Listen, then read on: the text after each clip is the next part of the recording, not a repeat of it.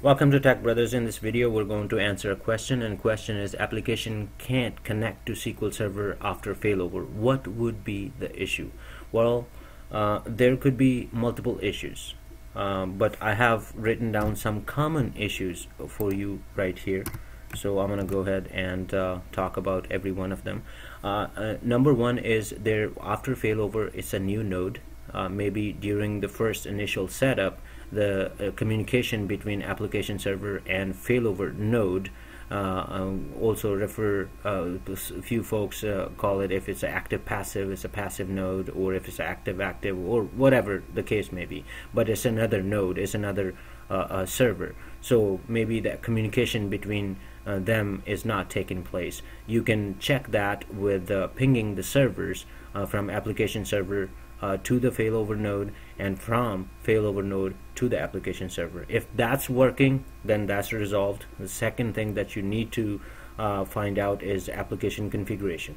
So in application configuration, if the connection string that uh, connects to SQL Server is uh, configured as machine name, uh, the primary node, um, it's a it's a machine name and instance name of SQL Server rather than uh, actually cluster logical SQL Server name. Then as soon as failover happens, uh, that machine name changes. Uh, even though all the resources has gone to the failover cluster, your application is not going to connect when failover happens. So make sure uh, you check your, um, uh, you ask your application folks that check your configuration manager. Whenever you configure a SQL Server that is part of the cluster, you should always configure all of your services and application using cluster logical SQL Server name rather than machine name backslash instance. So that's the second. Uh, um, um, it could be the issue.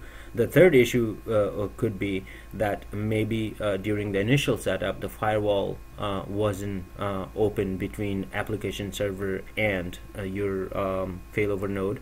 So fire firewall may be blocking application to connect to failover node so if that is the case you need to talk to your networking guys or or your system administrator to open the port specific ports to have the communication and it goes back to the point one if the communication is the failure then you need to get other teams involved uh, and get that resolved. So these three um, points are kind of high level uh, issues uh, common issues. There could be other several issues but uh, if you wanted to know more specific issues then you need to find out the log of application or log of SQL Server whatever the case may be.